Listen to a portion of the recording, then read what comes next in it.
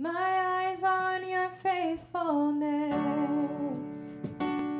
Oh God, let me not forget to sing in the valley, to love.